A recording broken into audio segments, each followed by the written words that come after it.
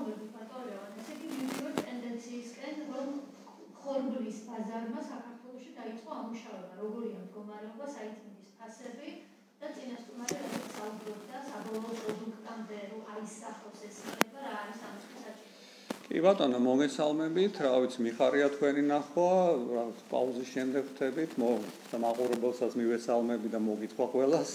და შესაბამისად, რა ვიცი, საკმაოდ დამაიმედებელი ინფორმაცია არის გარკვეულწილად ბევრი ხნის შემდეგ ის რომ ფასები ფქვილზე ფაქტიურად მოდის ძირს. რაც ძალიან მნიშვნელოვანია, მაგრამ ჯერჯერობით ეხლა ტენდენციაში არ გადასულა, მნიშვნელოვანია რომ ეს ტენდენციაში გადავიდეს, ჩვენ ამისი ფრთხილი ოპტიმიზმი გაგვაჩნია. მათ შორის ეს არის თქვათ იმპორტირებულ ფქვილზე ლაპარაკი და ნუ აგრეთვე ლაპარაკია ადგილობრივი წისქვილების გარკვეული რაოდენობის კლავ ამუშავებაზე. საშუალება მიცა მთლიანად სოფლიო ბაზარზე მიმდინარე ტენდენციებმა, ვიცით რომ ამუშავდა უკრაინის დერეფანი, რომელიც ძალიან დიდი ზალის ხრევით ხდება სოფლიოს თანამეგობრობის ჩართულობით, რამაც გარკვეული დადებითი ტენდენციები გამოიწვია. მათ შორის ნუ ჩვენ რეგიონალურად რუსეთში ფაქტურად საკმაოდ მაღალი მოსავალია და აქაც ცურავი ბაჟი შემცირებისკენ წავიდა. ნუ დღეს ცურავი ბაჟი არის ყოველკვირეული გამოსატანი ხორბლის 68 დოლარი 1 ტონაზე, ნუ ფქვილზე ისევ 0 არის, 0 ეს მუდმივად არის, მაგრამ ტენდენცია კიდე თუ გაგრძელდა, უკვე სხვა წისქვილებიც შეიძლება გადახედონ სიტუაციას და გარკვეულწილად წარმოებისკენ გადაიხარონ. დღესდღეობით ნუ სამწუხაროდ ტენდენცია ის არის, რომ ფქვილი შემოდის და მათ შორის დიდი წისქვილები თავისი მასშტაბურობიდან გამომდინარე ვერ მუშაობენ, იმიტომ რომ ამ დიდი რაოდენობით ხორბალი ჭირდება და გარკვეულად მოქნილობას ხრივ აქ უფრო საშუალო და მცირე წისქვილები მუშაობენ გარკვეული დატვირთვებით. აა თუმცა ნუ გარკვეული დაკვირვების ქვეშ არის მთლიანად ეს ყველაფერი და ნუ სულაც შესაძლებელია რომ გარკვეულად წისქვილების სხვა ნაწილმაც იფიქროს უკვე წარმოების ამუშავებაზე და არა ფქვილის შემოტანაზე, რაც უფრო რისკიანია ფქვილის შემოტანა დღეს რაც ხდება, ვიდრე თქვა ხორბლის შემოტანა, იმიტომ რომ ვიცით რეკომენდაცია გაეროსი ორთვიანი მარაგების შესახებ ხორბლად და შესაბამისად ძალიან ბევრი გაფრთხილება მიიღო სოფლიო თანამეგობრობამ, მათ შორის უპირველეს ყოვლისა რუსეთზე დამოკიდებულების მიმართებაში. ვიცით რომ გუშინ წინ გამოვიდა ამერიკის შეერთებული შტატების გლობალური უსაფრთხოების წარმომადგენელი, რომელმაც ძალიან ცლათი აპარატა მათ შორის საქართველოსში მიმდინარე ტენდენციებზე და ნუ იქაც რეკომენდაცია იყო, რომ საკმაოდ რისკიანია თვილის თემა და ნუ უნდა ვიზრუნოთ არა მარტო მარაგების შექმნაზე და წისქვილების ამუშავებაზე, ეს იქნება მოკლევადიანი პერიოდის ძალიან ეფექტური მნიშვნელოვანი ნაწილი, თუმცა ნუ შემდგომში ვთქვათ, თვითუზრუნველყოფის გაზრდაზე. ეხლა ბატონ მალხაზან ჩემ წინ საუბრა რომ გარკვეული მოსავალი არის საქართველოში, ანუ დაახლოებით ეს არის 130000 ტონა, ნუ 100000-ის ფარგლებში და ნუ ხუნჯერმეტი ფაქტიურად შემოგვაქვს ჩვენ აქ საჭირო თვითმყოფობის გაზდა. ნუ თვითონ სამინისტრომ დაანონსა ეს პროგრამა რამოდენიმე თვის წინათ და დამატებით დელეგაცია იყო ამერიკის შეერთებული შტატებში, სოფლის მეურნეობის სამინისტროსი და ზუსტად ამის გამონძახილი იყო თვითონ ამერიკის შეერთებული შტატების წარმომადგენლის ვთქვათ ეს ინტერვიუ. და ჩვენ დაგვიკავშირდნენ პრინციპში ჩვენ ასოციაციას ამერიკული მხარე. გარკვეული მიმოსვლა მოხდა ინფორმაციების ტენდენციები რა ხდება საქართველოში რამდენია როგორ არის ციფრულ კომბინატების რაოდენობა მოსავლის რაოდენობა ბოლო წლების ჭრილში ვთქვათ რა ხდებოდა. და გარკვეულად დღესდღეობით ზუსტი თარიღი არ ვიცით მაგრამ ეს პროგრამის ამუშავებისათვის მათ შორის ამერიკის შეერთებული შტატების ხარეც ვიზიტს აპირებს საქართველოში, რაც ძალიანად მარტო არა მარტო ჩვენ ასოციაციის წევრებთან შეხვედრა იქნება, არამედ სახელმწიფოს ჩართულობით ხდება ის, რომ პროგრამა ამუშავდეს და 50%-ზე ავიდეს თვითონ, რაც ძალიან მნიშვნელოვანია საფუძვლად უსაფრთხოებისთვის.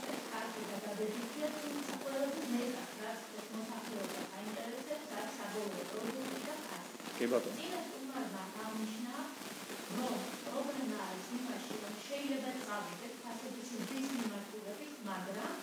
ფასების შემცირების მიმართ. შემცირების მიმართ, თუმცა თუ ეს ამ პროპორციებში სერვერი მაგალითად არის ჩართული საბოლოო შედეგს მოყოლებული ვერ მიიღებს. კრედიტიდან ან თქვენ ასე და შემდეგ მიდის დანარჩენი. ან თქვენ რა ნაწილში იქნება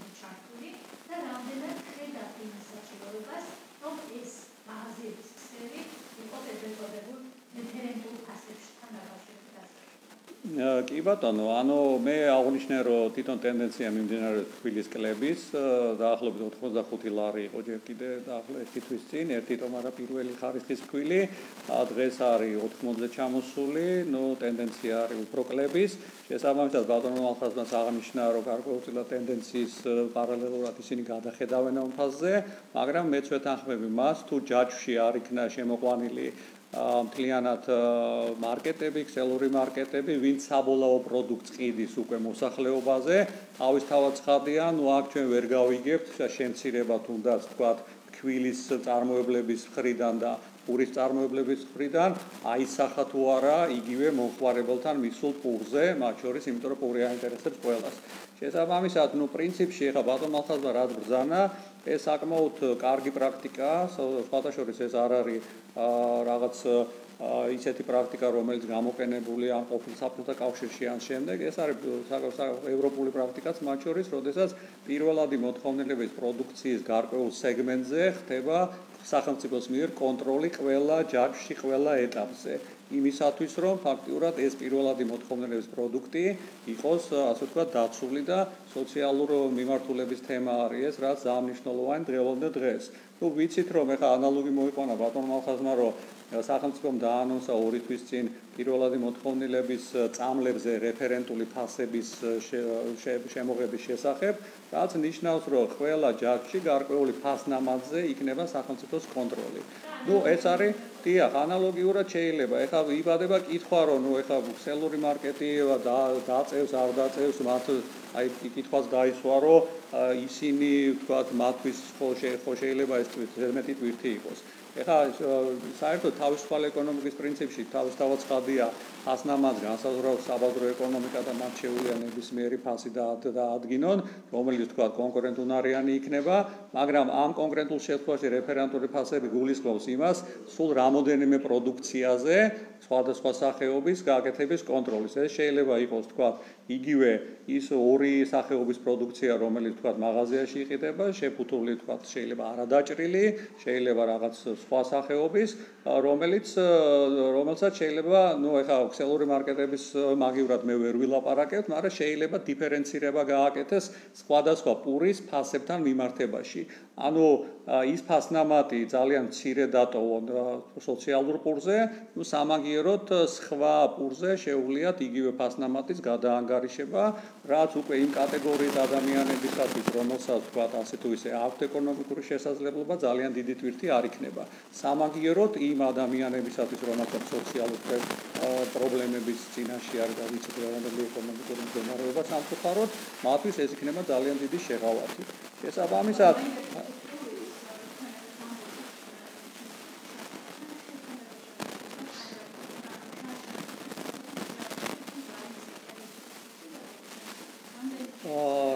ვისი ფასებზე მოლაპარაკეთ? ქვილზე? აა, ხორბლის, კი ბატონო, ხორბლის ფასი კი ბატონო, ხორბასაც გეტყვით, ქვილსაც გეტყვით. ან ხორბლის თემასთან დაკავშირებით, თვითონ ფასის მატება მოხდა შარშან, მაგალითად ინგლისის თვეში 250 დოლარი ერთი ტონის შემოტანა ივნისში, სანამ შემოიღებდა რუსეთი მცურავ ბაშ ხორბალზე ყოველკვირეულ, შემდეგ პარალელურად ცურავი ბაჟის გაზრდის პიკი იყო დაახლოებით 450 დოლარის ფარგლებში შემდეგ ამან დაიწყო შემცირება და დღეს არის 350-340 დოლარის ფარგლებში. ანუ ეს მიმდინარეობდა იმის პარალელურად, როდესაც თქვა სოფლიოში დაძაბულება იყო, რუსეთ-უკრაინის ომი იყო, უბრალოდ ეხაც მიმდინარეობს, მაგრამ დერეფანი დახურული იყო, უკრაინიდან ხორბალი ვერ გამოდიოდა და ვერ მიეწოდებოდა სოფლიო ბაზარს. ვიცით, რომ რუსეთი და უკრაინა არის მთლიანობაში 30%-ის მიმწოდებელი სოფლიო ბაზრის, შესაბამისად უკრაინის პორტების დაკეტვამ ამ საომარი მოქმედების გამო გამოიწვია ის, რომ გარკვეული დეფიციტი მსოფლიოში შეიქმნა. ზუსტად ეს იყო მიზეზი, რომ გითხარით 450 დოლარზე აიწია. ეხლა მსოფლიო თანამეგობრობა მოახერხა, რომ ეს დერეფანი გახსნილია და უკრაინის ხორბალი გამოვიდა და ეს არის, რომ შემცირების ტენდენცია მიდის ერთ-ერთი ფაქტორი. მეორე ფაქტორია რუსეთში დიდი მოსავალი, მათ გარკვეულწილად რამოდენიმეჯერ აღნიშნეს, რომ შეიძლება მათ ზედოზირება მოუხდეს ხორბლის რაოდენობის და ისინი დაინტერესებულნი ხორბლის გაყიდვის. შესაბამისად, ეს არის მცურავი ბაჟის დაკლების მიზეზი. და ნუ დღეს შარშან თუ კვილის ფასი ერთი ტომარასი აი დასაწყისში რო გეუბნებოდით იყო 60 ლარი, მე პიკი იყო 85 ლარზე ავიდა და ეხა ჩამოსული არის 80 ლარზე და 78-ებში იყიდება ზოგან. აი ეს ტენდენცია. დიახ, თქვილი. თქვენ შემთხვევაში არის ახლა იმ წოდებებთან მიმართებაში პულის ფასი არის ახლა რა თქმა უნდა, შეხედეთ ხორბლის ფასმა და ფაქტიურად იმპორტმა, ფქვილის იმპორტმა გარკვეულწილად ასახა ეს უკვე 85-დან ჩამოვიდა გითხარით 80-ზე და ტენდენციაც მოდის დაბლა და დიახ, ფქვილი, ნუ ჩვენ ვართ, ანუ ჩვენი ასოციაციის ასე ვთქვათ, კომპეტენცია არის ხორბალი და ფქვილი, ჩვენ ეს ავსახეთ, ანუ ფქვილი გაიაფებულია, თუმცა ეხა შემდეგი ეტაპია უკვე პურის ქარხნების თემა, მათ თქვეს რომ ისინი აკვირდებიან სიტუაციას და თუ ეს ტენდენციაში გადავიდა, შეიძლება ასახონ მათ პურის ფაზზე, მაგრამ ნუ კიდევ ერთხელ ვამბობ, ის რაც ბატონ მალხაზად მალხაზმა თქვა და ну მეც პრინციპში დაუჭერდი მხარს ის რომ თქვენამდე მომხმარებელამდე ეს ფასი ან პურის ქარხნის ფასი რომელიც დაიკლებს აისახოს ამისათვის საჭიროა რომ ქსელურ მარკეტებმაც პარალელურად რამდენსაც გააიაფებს პურის ქარხანა თუ დაახლოებით იმდენი მაინც გააიაფოს. შესაბამისად, ამ შემთხვევაში მასიურად მოხდება პურის ფასის ასახვა უკვე მომხმარებლებისათვის. ზუსტად ეს არის სამი ჯაჭვი, ქვილი, პური და ანუ გასაყიდი მაღაზიი და პურის ფასი. ეს სამი ჯაჭვი ამან უნდა იყოს იმუშაოს სინქრონში. და ის გულისხმობს რეფერანდუმ ფასს, ანუ თუ კონტროლი იქნება ამასთან დაკავშირებით, თორემ კიდევ ერთხელ ვამბობ, სულ რამოდენიმე სახეობის პურზე აპარატურა გადაადგინა ხაზი, ну, მაშინ შეიძლება ამაზე ვიმუშაოთ და ვიფიქროთ.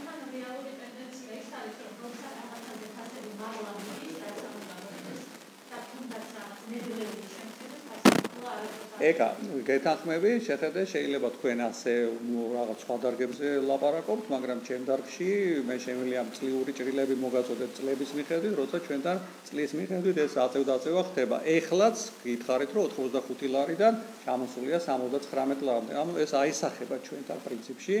ანუ ხორბალში და ფულში მე პასუხისგებლობით შემიძლია გითხრათ სრულად რომ ეს აისახება და ჩვენ შეგვიძლია ამ ტენდენციები პრინციპში ოფიციალურ დოკუმენტებში ვნახოთ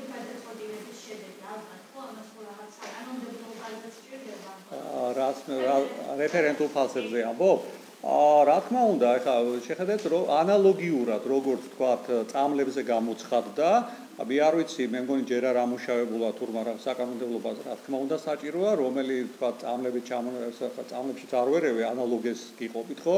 აა შესაბამისად როგორც იქ საკანონმდებლო ბაზა იქნება, რომ სახელმწიფომ უნდა გააკეთოს ეს, გარკვეული დაკვირვება გააკეთოს იმისათვის და მათ შორის კონტროლი, შესაბამისად აი ეს მექანიზმი, ამის ჯაჭვი, იქ არის თქვა შემოტანილი წამალი, რომელიც მე საფთიაქში იყიდება, ხო, ამის ფასნამადის კონტროლი. ჩვენთან შეიძლება ფთვილი, პური და გასაყიდი ფასი ეს გაკონტროლდეს იმ სახეობაზე, რომელიც პრინციპში არის. ალბათ ეს სრულიად რეალური შეიძლება იყოს.